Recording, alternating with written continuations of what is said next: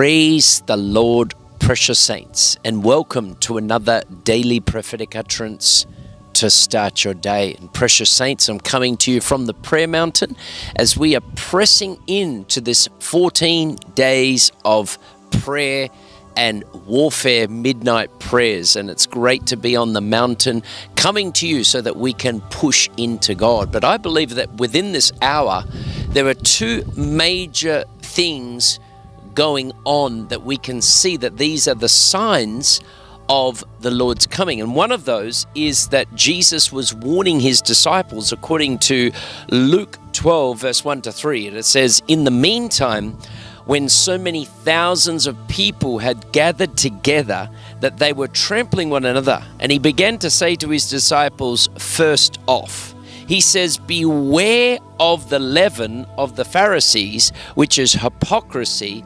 Nothing is covered up that will not be revealed or hidden that will not be known. Therefore, whatever you have said in the dark shall be heard in the light, and what you have whispered in a private room shall be proclaimed on the rooftops. Precious saints, we are in that time now where there is major hypocrisy within the church of Jesus Christ. And I mean within the priesthood. Within the priesthood, there is major hypocrisy.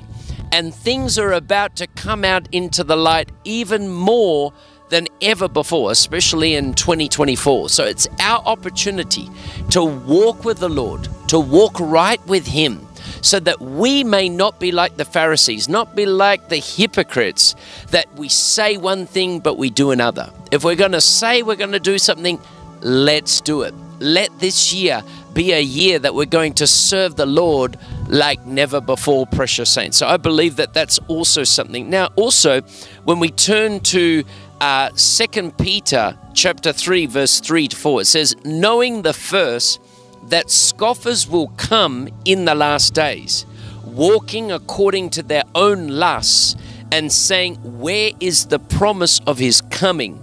For since the fathers fell asleep, all things continue as they were from the beginning of creation. We are in a time of the scoffer. We are in a time of the hypocrite. Precious saints, we are in a time right now that in these end times, Jesus said that these things would come. Uh, the Apostle Peter is warning the church that these times will come. We're in a time right now where people are scoffing. They are scoffing the return of the Lord. They are scoffing to say, hey, uh, the Lord's not going to come back anytime sooner. But mind you, everything around us is pointing to the very opposite that Jesus is coming back. So if you are not eagerly waiting for his appearing and looking for him, you are not going to go with him. And why do I say that? Because according to Hebrews 9:28 it says, "So Christ was offered once to bear the sins of many. To those who eagerly wait for him, he will appear a second time apart from sin for salvation." Precious saints, he is coming back for those who eagerly are waiting for his coming? Are you eagerly awaiting for his coming? Are you desiring his coming? You can't just sit on the fence in this hour. You must be eagerly awaiting. You must be anticipating. You must be watchful. You must be prayerful also, as the Bible states. So the Bible encourages us to be watchful. The, the Bible encourages us to pray for the Antichrist is coming for all that refuse his mark and his ways, precious saints. He is coming for those people. We must be watchful. We must be prayerful. And the Bible says, according to Luke 21, verse 36, watch therefore and pray always that you may escape you may escape, that you may be counted worthy to escape all these things that will come to pass and stand before the Son of Man. Precious saints, we must be watchful. We must be prayerful always. There are 21 global tragedies that are about to come upon the earth with over one third plus of the world's population that will die that is left here during the Great Tribulation, precious saints. There are 21 world catastrophes about to unfold. Everything we see now within this dispensation is just a preview of what is about to be released upon the earth, and then one third of the population plus will die. Precious saints, it is time to prepare. It is time to be watchful, to be prayerful. It is time to be eager and waiting. We are living in the time of the scoffer. We are living in a time of the hypocrite. May our lives be pleasing unto the Lord. May our lives be pleasing and ready for His soon coming, precious saints. The Bible also says, see, there's going to be a meeting in the air. But will they, those scoffers, be prepared? I don't think so. The Bible says, according to 1 Thessalonians 4, verse 16 to 17, For the Lord Himself will come down from heaven with a shout of command, with the voice of an archangel, and with a blast of the trumpet of God. And the dead in Christ will rise first. And then we who are alive and remain on the earth will simultaneously be caught up. Being caught up is being raptured. You might say, well, the word rapture is not in the Bible, but the word caught up is. We'll be caught up together with them the resurrected ones in the clouds to meet with the Lord in the air, and so we will always be with the Lord. Precious saints, these scoffers, these hypocrites are just living proof that Jesus Christ is on his way very soon. So I want you to be watchful, to be prayerful, to be eager and awaiting his coming. There's so many today that are watering down teaching so that you are not preparing. Do not listen to them, but be eagerly, because only those that are eagerly awaiting his appearing will go with him. Don't be like those that say, hey, it's not going to happen. It's not going to happen this way. It's not going to happen that. You just be ready. You just be watchful. You just be prayerful. Heavenly Father, I pray for each person. May we be watchful. May we be prayerful. Lord, may we, we repent for any hypocrisy within our lives. Lord, we repent if we have also been like a scoffer that has scoffed other people that were preparing, that are appearing, and that are waiting for the appearing of the Lord Jesus Christ on that day of being caught up with the Lord.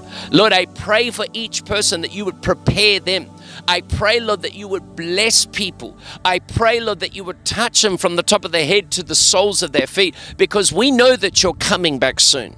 We know that your appearing is coming back soon. Lord, prepare us. Prepare us.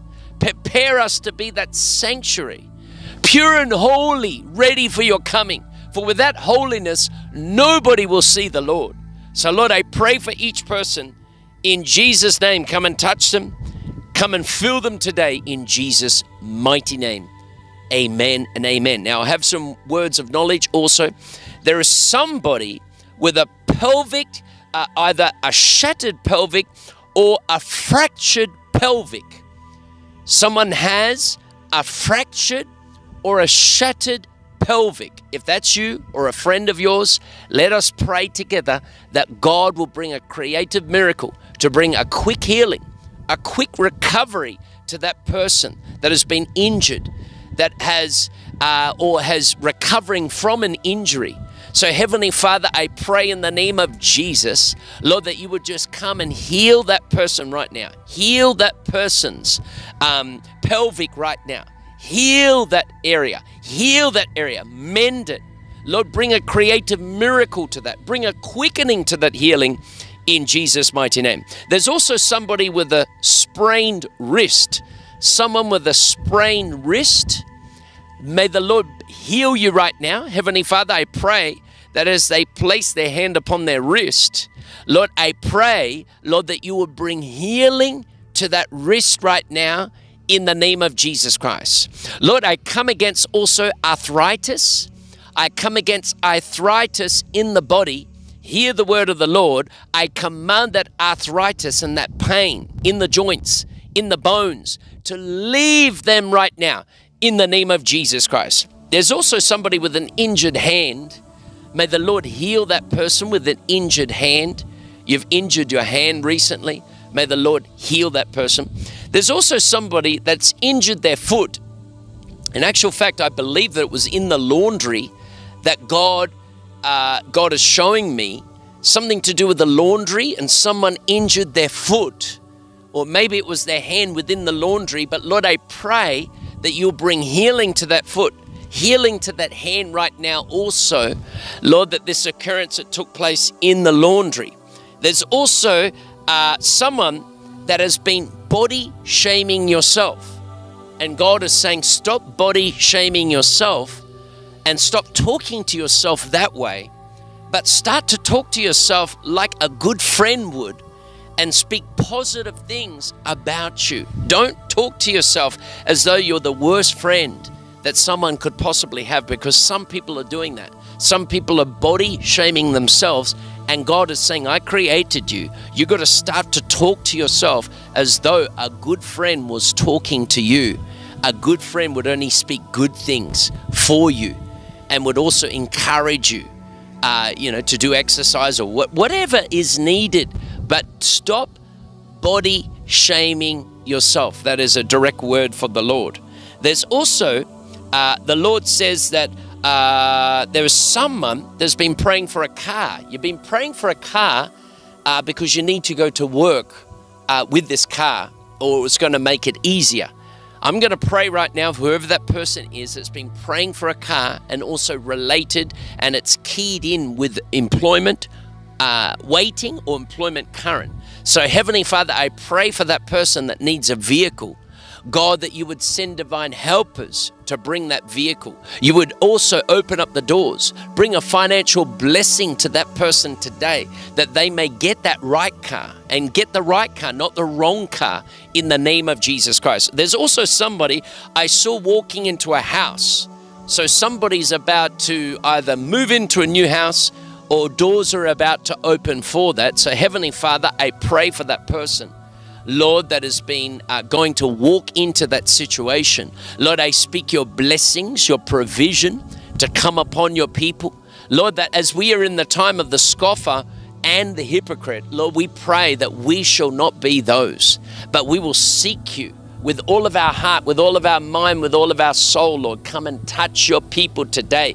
Come and touch them from the top of their head to the soles of their feet. In Jesus' mighty name, come and heal them Come and deliver them. Come and set them free today. In Jesus' mighty name, we pray and believe. Amen and amen. This is Pastor Robert Clancy. It is time to catch the fire of repentance revival as we prepare for the coming of our Lord Jesus Christ. Shalom, shalom, Shalom and precious saints. If you've liked this today, you can subscribe to the YouTube channel, follow us on Facebook or Instagram or TikTok, or our free website, repentancerevival.com. Precious saints, it is time to seek Him. We are currently in the middle of the 14 day midnight warfare program. I would encourage you to join. Get your families to join. If you can't do it at midnight, choose a suitable time that you can do it as a family. Get the children involved. Get them to agree after each paragraph and say amen. Everything I say that I tell people to do, I do myself. My children do it with me all the time. They fast with me also, even as I'm fasting through this period. They are also, they also join. They also uh, participate. I encourage it. Make sure you do. And if your spouse is not 100% on board, you can invite him to join the prayers. Invite him to join the fasting. We have people for the first time they are joining the fasting and prayers with their spouses. Sometimes we just need to ask them, make them feel welcome. And then if they refuse to, then they should give you the grace for you to do it and to bring the children and get them involved. So, from my family to yours, God bless you. We love you. We are praying for you, precious saints. Shalom, shalom, shalom.